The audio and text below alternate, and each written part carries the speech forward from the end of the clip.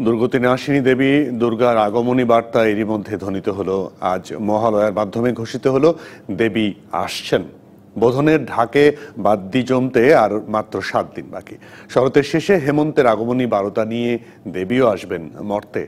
ঝরা শিউলি ফুলের ঘ্রাণকে সঙ্গী করে বাঙালি সনাতন ধর্মাবলম্বীদের একসূত্রে গাঁথবে এই শারদ উৎসব। এবার দেবী আসবেন ঘোড়ায় চড়ে আর যাবেন দোলায়। তাই হিন্দু শাস্ত্র মতে দুর্যোগের আশঙ্কা থেকেই যায়।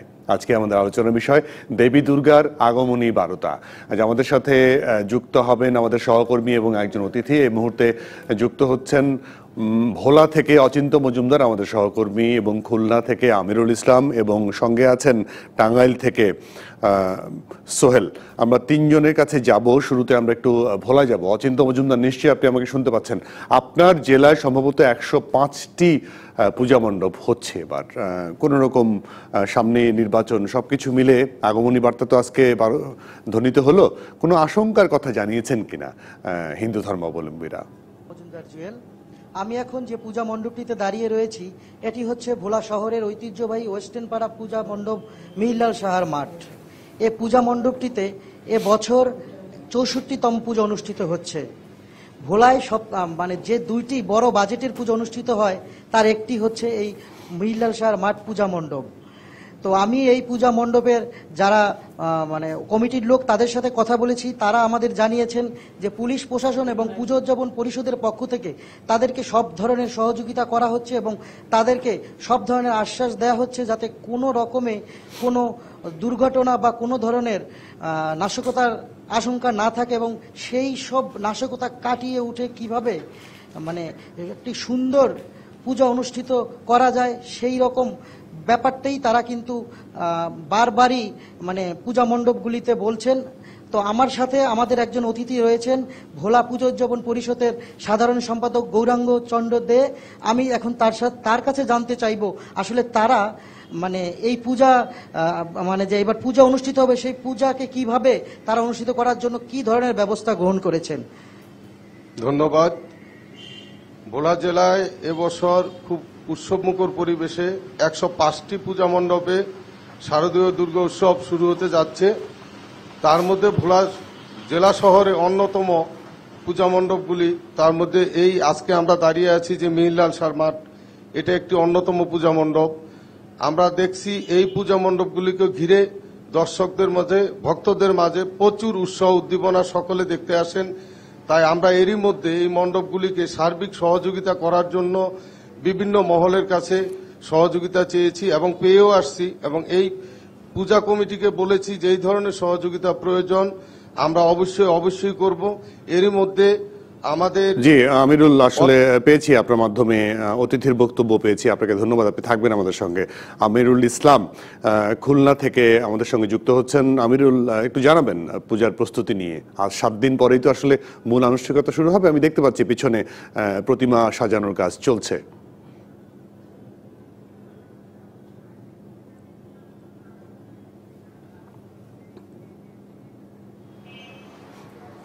হ্যাঁ আপনি যেমনটি বলছিলেন যে মহালয়ার মাধ্যমে কিন্তু যে মা দুর্গা যে আগমনের ধবনী যে ধ্বনিত হচ্ছে মণ্ডপগুলোতে এবং মণ্ডপগুলোতে শেষ মুহূর্তের যে প্রস্তুতির কাজ সেইগুলো চলছে।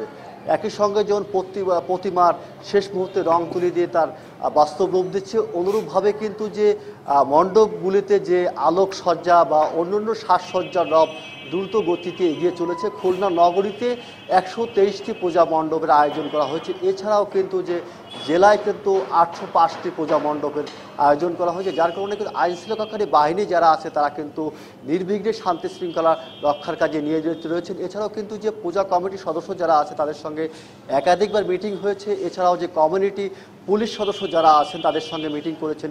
নির্বিঘ্নে সর্বজনীন যে ধর্মীয় উৎসবটা সেটা যাতে উদযাপিত হয় সেই জন্য আমি এ ব্যাপারে যে সামনে যে আসন্ন জাতীয় সংসদ নির্বাচন, এখানে যে নির্বাচন উপলক্ষে দুর্গাপূজার সার্বিক বিষয় জানার জন্য মহানগরী যে পূজা উদযাপন কমিটির সাধারণ সম্পাদক যে আছেন, তাকে জানব সর্বশেষ কী অবস্থা? আপনাদের নিরাপত্তা বলায় কী ধরনের নিরাপত্তা ব্যবস্থা নিয়েছে আইন শৃঙ্খলাকারী বাহিনী? কোনোরকম কোনোরকম দুশ্চিন্তাগ্রস্ত আছেন বা কোনো রকম আশঙ্কা আমাদের কাজ করছে কিনা? ধন্যবাদ আপনাকে। আপনাদের মাধ্যমে আমি খুলনাবাসী তথা সারা বাংলাদেশের জনগণকে শারদীয় শুভেচ্ছা জানাচ্ছি। আমাদের এই খুলনা মহানগরীতে আটটি থানায় একশো তেইশটি শারদীয় দুর্গাপূজা। তা আমরা ইতিমধ্যে বিভাগীয় কমিশনার, পুলিশ কমিশনার, জেলা প্রশাসক মহোদয় সাথে আমরা বৈঠক করেছি এবং সেখানে এই সামনে যে আমাদের জাতীয় সংসদ নির্বাচন, এই নির্বাচনকে ঘিরে যাতে কোনো রকম এই শারদীয় দুর্গাপূজায় বিশৃঙ্খলা না হয়, তার জন্য আমরা সার্বিকভাবে আলোচনা করেছি এবং সেখানে আইন শৃঙ্খলার বিষয়টি বেশি প্রাধান্য পেয়েছে। যে যাতে অন্য অন্যবারের তুলনায় খুলনায় এমনি সাধারণত দুর্গাপূজায় কোনোবার বিশৃঙ্খলা হয় না। তারপরে অন্য অন্যবার তুলনায় যাতে এবার আরও সুন্দরভাবে এবং সুষ্ঠুভাবে শৃঙ্খলার সাথে পূজা মণ্ডপগুলোতে দর্শনার্থীরা পূজা পরিক্রমা করতে পারে তার জন্য সার্বিক ব্যবস্থা গ্রহণ করার কথা আমরা বলেছি এবং তারাও আশ্বস্ত করেছে আমিরুল আমিরুল আপনার মাধ্যমে পেয়েছি আসলে অতিথির বক্তব্য পেয়েছি। আপনাকে ধন্যবাদ। সোহেল আপনি থাকবেন। আপনাদের দুজন তিনজনকে ধন্যবাদ জানাই। আমরা একটু আহ, প্রধানমন্ত্রীর বক্তব্য শুনব। আজকের মানচিত্রের আলোচনার বিষয় নিয়ে আমরা একটু এখন যুক্ত হব। আমাদের সঙ্গে আরও তিনজন অতিথি যুক্ত হয়েছেন। আহ, সোহেল তালুকদার তো আছেন টাঙ্গাইল থেকে রংপুর থেকে যুক্ত হয়েছেন নাজমুল ইসলাম নিশাত এবং চট্টগ্রাম থেকে আমাদের সঙ্গে যুক্ত আছেন পূজা উদযাপন পরিষদের সভাপতি চন্দন তালুকদার। আমরা তিনজনের কাছ থেকে ছোট ছোট করে জানতে চাইব। নিশাত আপনার কাছ জানতে চাই যে সার্বিক প্রস্তুতি কেমন দেখছেন দুর্গোৎসবের?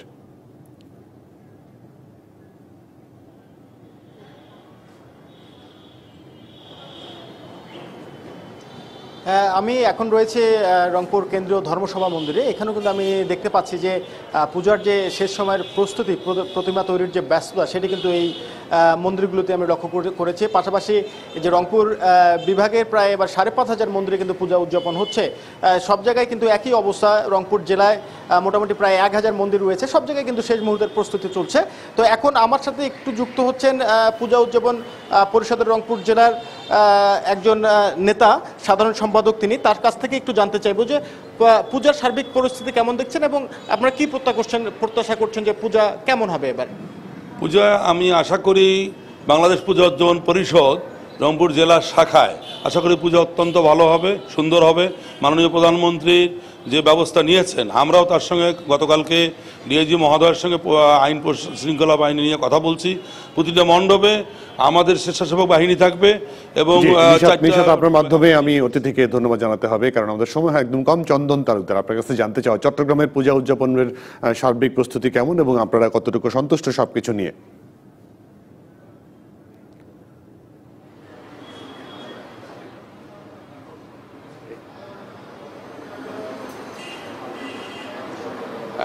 আপনাকে সর্বপ্রথমে চট্টগ্রাম মহানগর পূজা পরিষদের পক্ষ থেকে সারা বাংলাদেশের মানুষকে শারদীয় শুভেচ্ছা মহালয়ের শুভ প্রণাম জানাচ্ছি।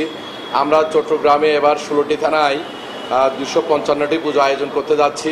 এই পুজোকে সুন্দর সুশৃঙ্খলভাবে করার জন্যে ইতিমধ্যে আমরা প্রত্যেকটি থানায় সমন্বয় সভা আমাদের আঞ্চলিক কমিটিকে নিয়ে কাজ করেছি এবং আমরা আশা করছি আমাদের কমিটির নেতৃত্বে খুব সুন্দরভাবে আমরা পূজা উদযাপন করতে পারব।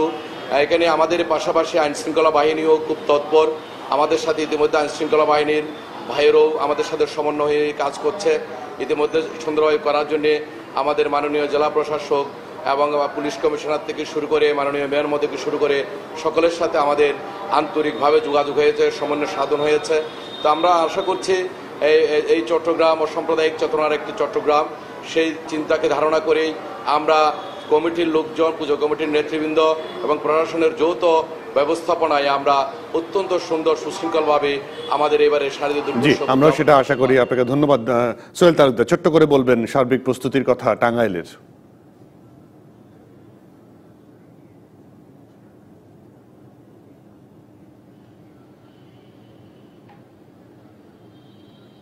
জুয়েল আপনাকে ধন্যবাদ।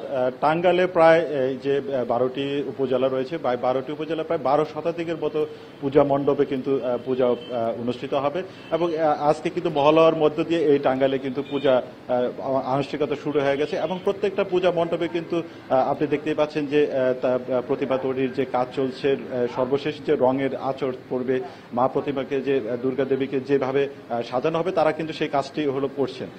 আপনাকে একটু আরেকটু বলে রাখি যে জুয়েল এই টা- টাঙ্গাইলে কিন্তু যে বারোশোটির মতো যে পূজা রয়েছে প্রত্যেকটি পূজা মণ্ডপে কিন্তু পুলিশ সদস্য থাকবেন আনসার থাকবেন এবং ভলেন্টিয়ার থাকবেন এবং সেই সাথে কিন্তু র্যাবের পক্ষ থেকে এই পূজা মণ্ডপে যাতে তারা টহল রাখবেন। এবং আশা বলা যায় যে টাঙ্গালে যে যে পূজা হচ্ছে এবং একটি উৎসবমুখর পরিবেশের মধ্যে দিয়ে টাঙ্গাইলে আহ, যারা সনাতন ধর্ম রয়েছেন তারা এই উৎসবটি পালন করবেন এবং অনেকটা গতবারের মতো বা প্রতিনিয়তের মতোই তারা নির্বিঘ্নে এই উৎসবটি তাদের যে ধর্মীয় পর্ব উৎসবটি সেই উৎসবটি পালন করতে পারবেন বলে আইন সোহেল তালুকদার আপনাকে অসংখ্য ধন্যবাদ। সোহেল তালুকদার ধন্যবাদ। নিশাদ ধন্যবাদ। এবং চন্দন তালুকদার আপনাকে ধন্যবাদ। আজকে আমাদেরকে সময় দেওয়ার জন্য দর্শক আপনাকে ধন্যবাদ। আপনার যারা এতক্ষণ আমাদের সঙ্গে ছিলেন এই ছিল আজকের আয়োজন। আগামীকাল অন্য কোনো বিষয় অন্য কোনো এলাকার অতিথিদের নিয়ে হাজির হব। থাকুন ডিবিসি নিউজের সাথে।